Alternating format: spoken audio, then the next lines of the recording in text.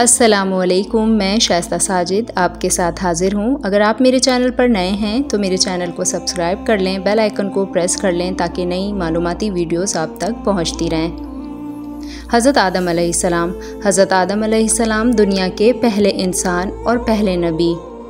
कुरान मजीद में हज़रत आदम सलाम के दो बेटों का ज़िक्र है, जो हाबिल और काबिल हैं। हज़रत आदम सलाम और हवा सलाम की बहुत सी औलाद हुई। उनमें दो बच्चे, काबिल और हाबिल थे। काबिल बड़ा बेटा और हाबिल छोटा बेटा। काबिल बड़ा बेटा जो अपने माँ बाप का कहना नहीं मानता था और वो फर्मा बरदार नहीं था। और हाबिल जो अपने माँ बाप का कहना मानता था और बहुत ही फर्मा बरदार था।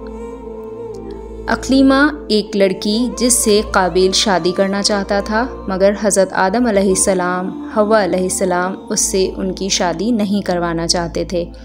वो चाहते थे कि उनकी शादी हाबील से हो जाए, जो नेक, शरीफ और फर्माबरदार था। इसलिए काबिल अपने माँ बाप और भाई का दुश्मन हो गया। अल्लाह पाक ने हुक्म दिया कि तुम दोनों कुर्बानी करके पहाड़ पर रखाओ। जिसकी कुर्बानी कबूल होगी, उससे अकलीमा की शादी की जाएगी। अल्लाह पाक को अपने नेक बंदे बहुत पसंद आते हैं और वो उनकी मदद फरमाता है। आसमान से एक आग आई और हाबिल की कुर्बानी को ले गई, यानी हाबिल की कुर्बानी कबूल हो गई। अब उसके भाई काबिल को बहुत गुस्सा आया। उसने हाबिल से कहा कि मैं तुझको कत्ल कर दूँगा। हाबिल ने कहा, अल्लाह नेक बंदों की कुर्बानी कबूल फरमाता है। अगर तुम मुझसे लड़ोगे तो मैं तुम पर हाथ नहीं उठाऊँगा। आखिर एक दिन काबिल ने हाबिल को कत्ल कर दिया। दुनिया में ये पहला कत्ल था, जो काबिल ने अपने भाई हाबिल का किया था। कत्ल करने के बाद काबिल को फ़िक्र हुई कि हाबिल की लाश का क्या करें?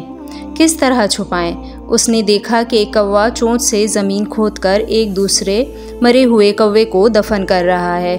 तब उसने अपने भी भाई को हाबिल को ज़मीन खोद कर दफन कर दिया।